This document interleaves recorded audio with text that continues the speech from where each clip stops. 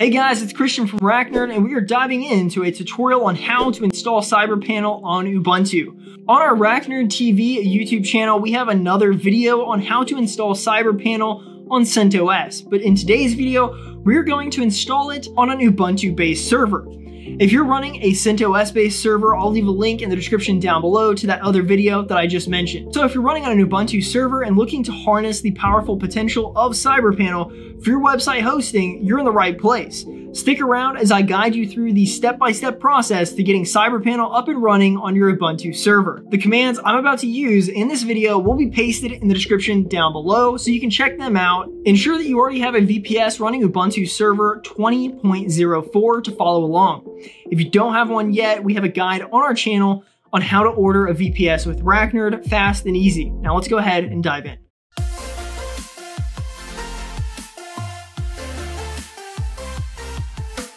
So before we get our hands dirty with the installation process, you might be wondering why CyberPanel on Ubuntu? Well, CyberPanel is a robust control panel designed for speed and efficiency, and when paired with the reliability of Ubuntu, you get a hosting powerhouse. Furthermore, CyberPanel is engineered to work seamlessly with Ubuntu, offering a stable and secure environment for your web hosting needs.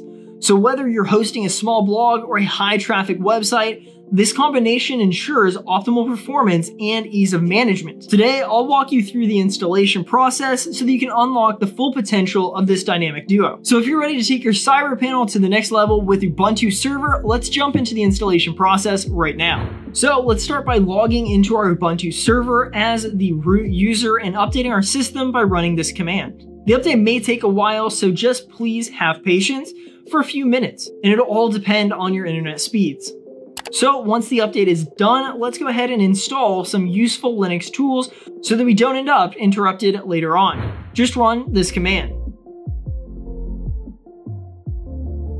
Next, let's run this one line of code it will initiate the automated installation script, which will prompt us for a few decisions about which version of LiteSpeed and which add-ons we would like to use. So here, please pay attention to your screen and follow the on-screen prompts to complete the installation. You'll be asked to set up a password and configure some basic settings, but I highly suggest that you follow through my selections so we are on the same page.